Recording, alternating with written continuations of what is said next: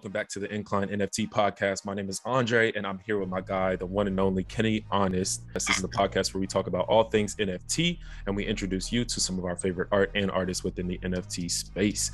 And today's topic of conversation language, the lingo that you need to be knowing when you're getting into the NFT space. You probably already heard about blockchain, gas, um, you know, transactions, you know, crypto, Ethereum, Bitcoin. You probably heard all of those basic videos. Um, we're coming to you talking about some of the lingo that you're going to hear when you're in the Twitter spaces um, and when you're just out and about talking to other people and some of your friends and family about NFTs. So, Alpha, Kenny, what does Alpha mean to you?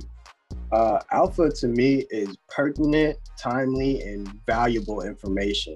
So it's basically like when somebody gives you something that you wouldn't have known otherwise, and you know it's good I don't, want to say financial advice, but it might be good art advice to to cop one. So hell yeah, I have alpha as any info or any project that might be valuable very soon or in the future. It's just anything. It could be an idea. You could have an alpha alpha idea or be an alpha project. To me, it's kind of an important term because the alpha it means like, you know, what I'm saying you almost need to buy this if you, it, it kind of leads into another term like FOMO, because if you're not in on the alpha and you're getting the alpha late, could lead to FOMO, and you'll fuck around and miss out on some shit. Yeah, I mean, FOMO is something where you like you see a lot of volume going through a project. Some people had scoped the alpha early, and you see the opportunity passing you by, and you yeah. don't know whether it's going to be good or not. But sometimes you just buy in for the fear of missing out. Right. Um, it's a it's a FOMO thing, but disclaimer this is not uh, financial advice by the way so don't take it. yeah absolutely. This is purely and educational. the fomo in this space is intense because you literally see things go 10 times its value or 100 times its value overnight sometimes. It's not yeah. weird for art to do that. You know artists will give their art away for free sometimes and people immediately flip it for crazy. So the fear of missing out is very real in nfts the next one i want to talk about um, is sniping. This is one that you might not even know of. If you have heard of alpha before, you might not have heard of what a snipe is. Um, so, what does sniping mean to you, Kenny? Uh, sniping is getting a piece of artwork before anybody else can.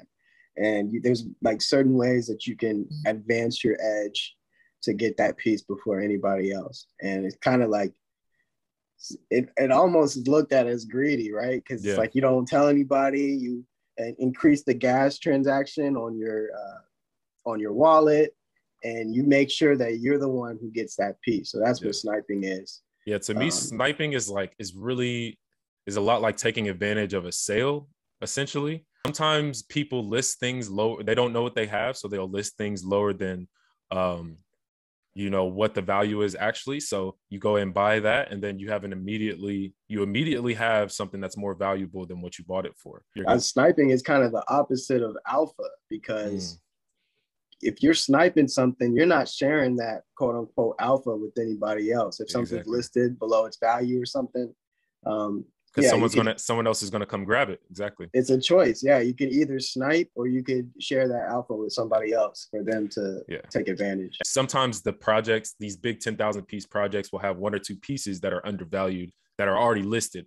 Um, so i think sniping refers to more of those like within the projects you kind of spot something that is lower than all of the other ones. You buy it really quickly. I've gotten a couple snipes off of him kenny sniped would you snipe a you sniped the sam you guy right? Or what did you snipe? Yeah I stay sniping everything, bro. yeah. I, I, am heartless, and I'll share the information afterwards. Like, like, look what I just got, guys. Yeah, I mean, yesterday we sniped those um the go go dot at 45 tez. Yeah. Uh, and now they're 71 tez. Might be the alpha right now. The Go Go's might be the alpha right now. So we'll probably drop a link. And when this drops, it might be still undervalued, but I think by that time, this might uh, that project might not financial advice. Not financial advice. advice. Once again, exactly. This is all educational. And then the last one I wanted to talk about in this episode is a rug. A rug pull is the correct term. Um, but now it's just kind of the shorter form is just a rug. Um, so what does getting rug mean to you? Yeah, getting rug. Yeah.